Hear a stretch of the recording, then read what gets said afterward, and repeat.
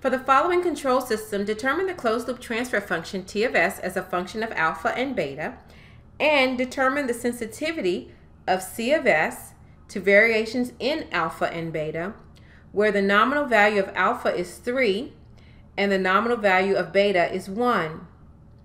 Determine the magnitude of the two sensitivity functions at omega equal 1 radian per second and determine whether the system is more sensitive to alpha or beta at this frequency.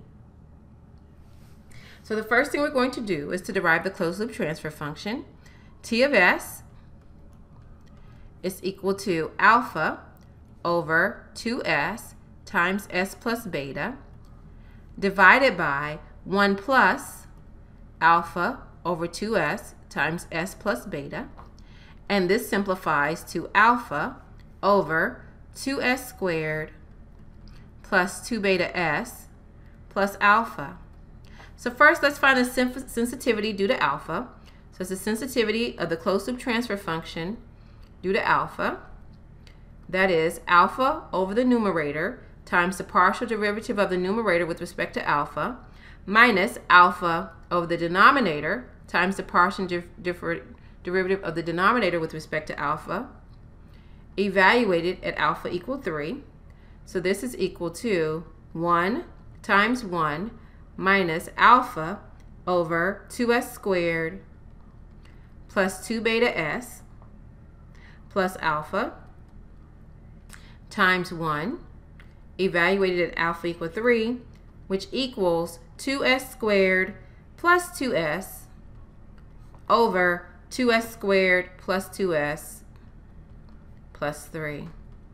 So now let's derive the sensitivity function for beta.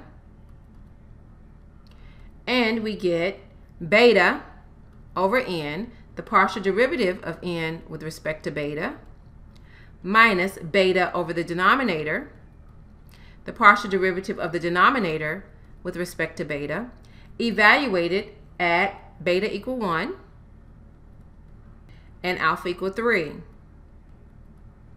So this equals beta over alpha times 0 minus beta over 2s squared plus 2 beta s plus alpha times 2s evaluated at beta equal 1 and alpha equal 3, which simplifies to negative 2s over 2s squared plus 2s plus 3. So now let's determine the sensitivity at omega equal 1 radian per second. So we're going to find the magnitude of each. And we have the sensitivity function for alpha at 1 radian per second is equal to 1.2649 or 2 decibels. And the sensitivity function for beta at 1 radian per second is 0.894 or negative 0.969 decibels. So what we find here is that T of S is more sensitive to variations in alpha at 1 radian per second. In class activity 3, for the following control system, determine the closed loop transfer function as a function of alpha and k, and determine the sensitivity of T of S to variations in alpha and k, where k has a nominal value of 1 and alpha has a nominal value of 5.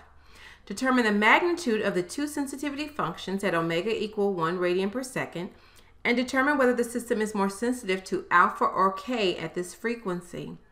Lastly, find the steady state error due to a unit step input at the nominal values for alpha and k, and the error for each with a 10% variation, where k would then be 0.9 and alpha would then be 4.5, and determine whether the error is more sensitive to variations in k or alpha. So first, let's find the closed loop transfer function. T of s is equal to 1 over s plus alpha plus k.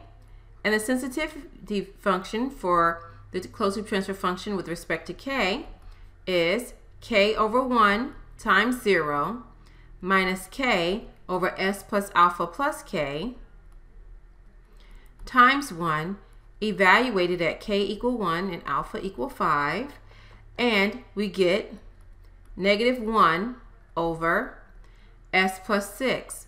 So when we evaluate that magnitude at 1 radian per second, we get 0.164 or negative 15.7 decibels.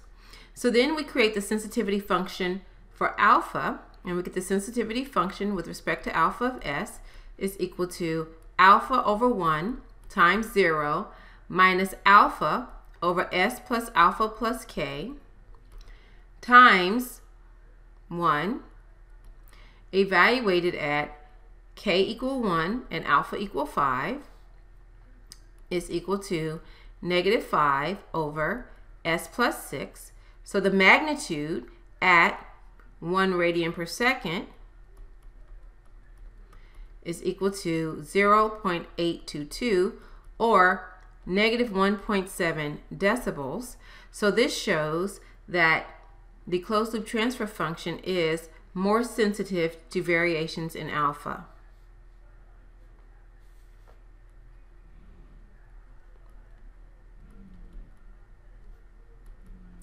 Next, we are going to find the steady state error. So when alpha is equal to 5 and k is equal to 1, the closed loop transfer function is 1 over s plus 6, and the nominal steady state error is 1 minus t of 0, or 5 sixths. So when k is equal to 0 0.9 and alpha is equal to 5, the closed loop transfer function is 1 over s plus 5.9 and the steady state error is 0.831.